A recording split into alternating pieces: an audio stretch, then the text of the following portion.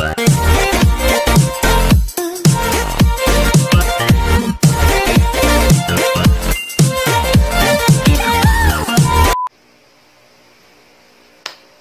guys! Welcome back to my channel and again, this is Ems and for today's video, magre-review ulit tayo syempre ng isang product. Actually, isa lang siya. Pero mamaya malalaman nyo guys kung bakit siya napili kong i-review. So, titingnan natin yung pinaka... Actually, hindi ko pa siya natatry ng full kasi gusto Magbabasa muna ako ng, ito ang daming sobrang nagre-request.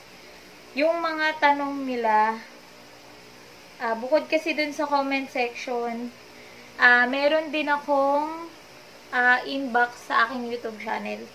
So, ang dami dun nagpadala ng message. Pati sa email. Kasi, kapag end ng video ko, dun sa description, nilalagay ko yung email ko. So, yun, nag-email din sila. Okay, ang first question po natin ay anonymous siya. Hindi ko lang ba ito ang pangalan yung ano niya. Okay, ano daw ba ang ginagamit ko na camera? Okay, so gusto ko pong malaman kung ano po ang ginagamit ninyong camera. Okay, actually, ang ginagamit ko pong camera ay walang iba kundi ang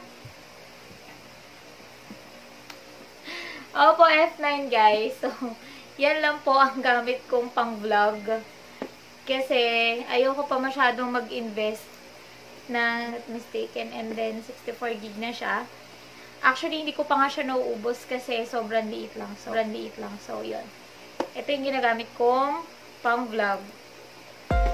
Okay, and then, may tanong dito. Teka lang, balikan ko lang siya.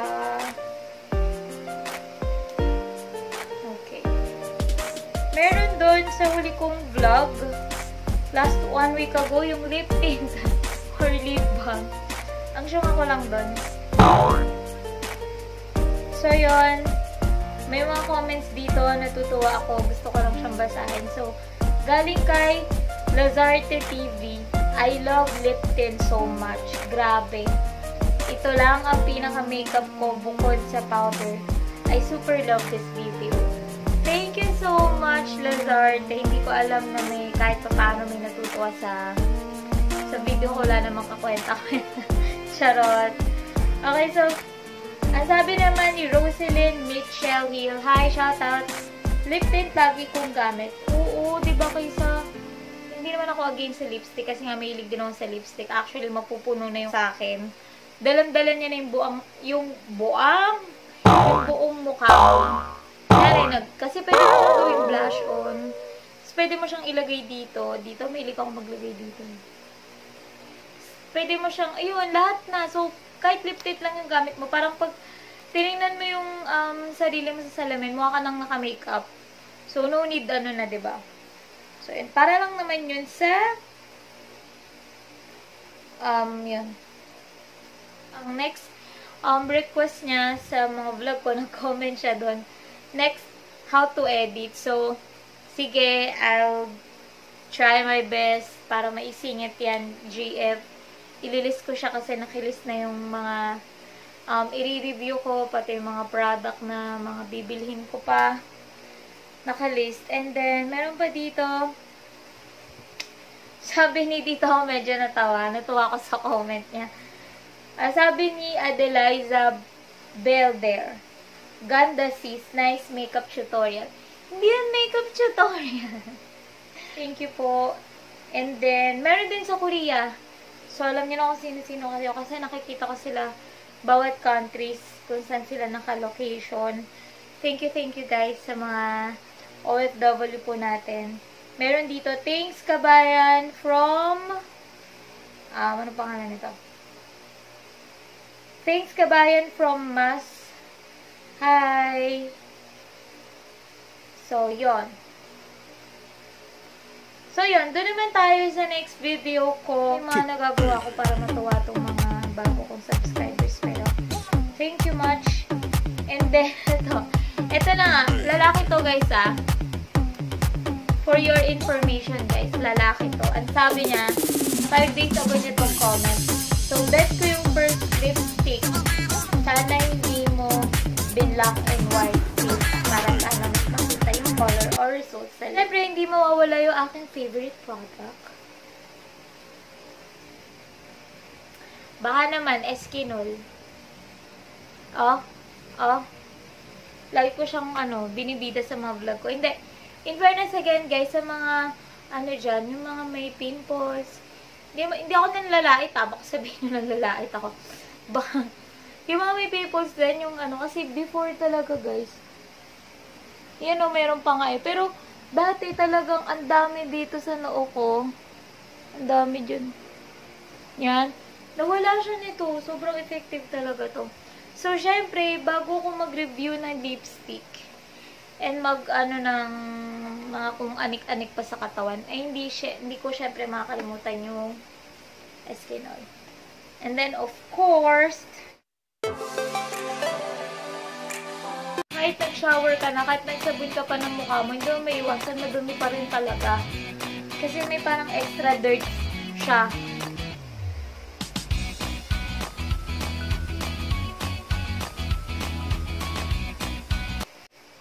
Okay. So, tapos na tayo mag-eskinol and pupunta na tayo dito sa aking review product for today. Actually, galing pa to sa bansang Korea. So, one month ko siyang hinintay kasi yung pinsa ng boyfriend ko, in order pa siya overseas doon sa kaibigan niya na eh, um, direct na nag-order nito. So, this is fresh from Korea. So, yan, isang, ayun, isang buwan ko tong hinintay. Naka, meron siyang box, guys. Yun nga lang, accidentally, um, na, nasira ko siya. Kaya, ang pangit ko ipapaking.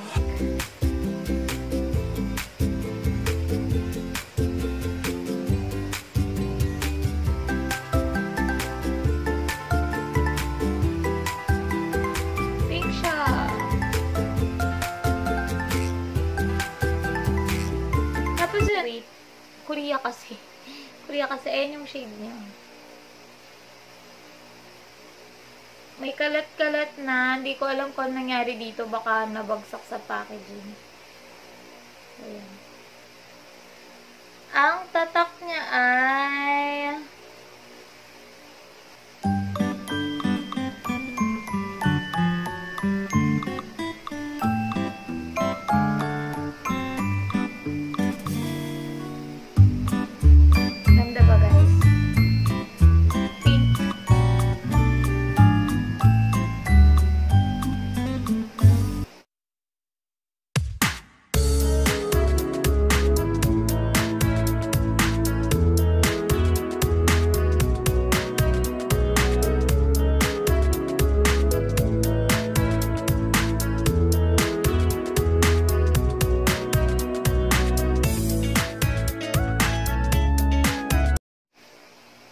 Okay, so yan guys yung color niya. Pink.